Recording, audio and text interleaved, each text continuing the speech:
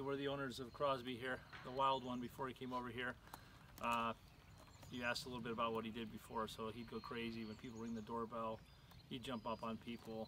He was horrible on the leash. He dragged the kids down the street. So pretty much I was the one that had to walk him. And anytime he saw another dog, he would go crazy and pull us. So he's been here for two weeks. You can tell he's excited to come home to his uh, comfortable bed. But he uh, he's amazing. We just took him out on the on a walk. He stayed right behind us, heeling whole time. He listens to all of his commands. Jumps up on the on the stump. We ask him to place, and he stays there. And then uh, brought out some other dogs and doesn't really even go near him and just ignores him until he's allowed to play with him. So he's totally in our command.